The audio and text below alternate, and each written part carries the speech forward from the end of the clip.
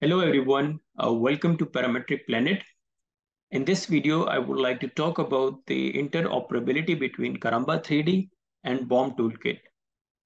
As you guys know, Karamba 3D is very famous nowadays uh, because uh, it's a modern parametric tool uh, which allow you to perform uh, finite element analysis in Grasshopper, uh, which is very quick and accurate uh, but the biggest advantage of Karamba 3D is it also utilizes the native Grasshopper optimization tool, which is Galapagos, uh, to optimize the structures. In the previous versions of Karamba 3D, uh, there was no option for the users to transfer the Karamba model uh, to other softwares or analysis tools. But with this new version or with this test version, now the user has this option uh, to transfer the Karamba model to other softwares or analysis tool. If you visit this Karamba website and you go to 3.00 WIP, under the section of uh, 3.004, you will find this option or this information, interoperability via BHoM. If you want to know how you can use uh, this toolkit, you can go to GitHub repository. Uh, if you click on this link, it will open the GitHub page on this page, uh, there are files uh, for this toolkit. You can download this one. If you go to uh, README section, uh, you will find all the details which uh, you need to install this toolkit and how to use this toolkit. The very first thing you need is uh, the pre-release version, which is 3.00 WIP. And you can also install this version or download this one from the GitHub page of uh, Karamba 3D. And the next thing you need is the BHoM toolkit, uh, which uh, you can download from the BHoM website, which is uh, this one. And after that, when you install your BHoM, uh, then what you have to do, you have to um, clone this toolkit. And how you can do that, you can use Git Bash or Microsoft Visual Studio. You just need to copy this link and then uh, you have to uh, clone and compile this one. You can just Google it or you can uh, watch a YouTube tutorial how to clone this one. Uh, they usually prefer to do it with the Git Bash or Microsoft Visual Studio. So it's not that uh, complicated. You just need to provide this link and then you have to write git clone at, uh, with this link and it will automatically clone these files. After that, uh, it will generate uh, three DLL files, uh, which I can show you. you have to paste those files in this folder of assemblies. So if I show you those DLL files, so these are this uh, Karamba 3D adapter.dll, Karamba 3D engine.dll, and Karamba 3D object modeling.dll. You have to paste uh, these files in this assemblies folder and you can file this BHoM fo folder in C. If you go to C program data, then BHoM, then you will find this folder assemblies. And there is another thing you have to do. You have to uh, paste the link in this text file, including uh, DLLs. Otherwise, it will show you that this uh, component is a prototype or it's just the test version if you don't do that.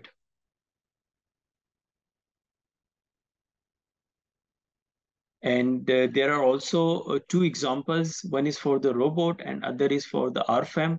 Uh, you can also check how you can do that. But in this tutorial, I will show you how we can uh, transfer our Karamba model to ETABS. For this workflow, I'm using this simple example of fixed-ended beam. And I have applied three types of load on this beam. Uh, 15 kilonewton per meter uniformly distributed load, 10 kilonewton per meter trapezoidal load, and 20 kilonewton point load. Further, uh, I have assigned load case 1 to point load, load case 2 to uniformly distributed load, and then load case 3 to this trapezoidal load.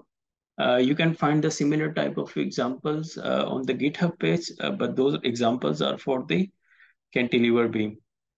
Uh, with this simple example, I just wanted to show you the workflow how you can convert your Karamba model into BHoM objects and further uh, from BHoM objects uh, to analysis software.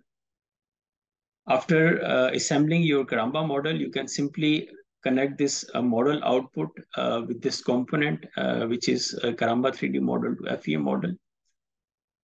Unfortunately, you will not be able to find this one in this engines tab in this convert component. I don't know why, but if you want to use this one, you have to copy this one from the example file. When you explore this component, you will see the Karamba model information, uh, which is the node, bars, load, load cases, cross-section, and the materials, uh, which you have defined in your uh, Karamba workflow.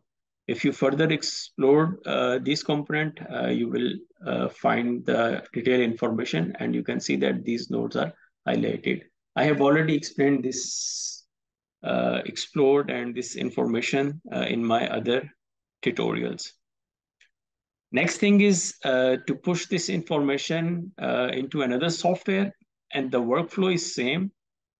Uh, we have done this workflow so many times. So the very first thing is to create an adapter.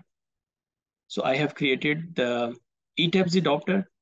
And after that, uh, you need to create a push component uh, because we want to push these objects, BHoM objects into ETABS software. So let me just activate first my ETABS um, software. It will open the ETABS file and after that uh, we will push our objects into ETABS. So let me just activate this one.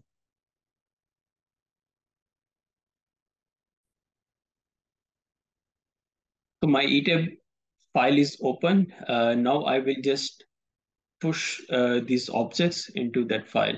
So let me just activate this push component.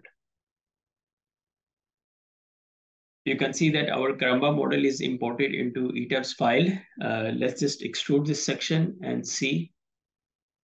Uh, yes, it's the same section uh, which we have assigned. And let's just check the properties of this beam.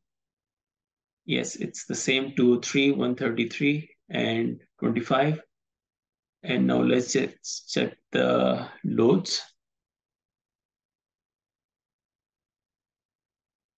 Uh, this is the point load, load case one. Uh, load case two, it's the uniformly distributed load. And load case three, it's a trapezoidal load, 10 kilonewton per meter. So you can see that with BHoM, uh, we can easily transfer our Karamba model into other analysis tools. That's all for this video. Uh, I hope you like it.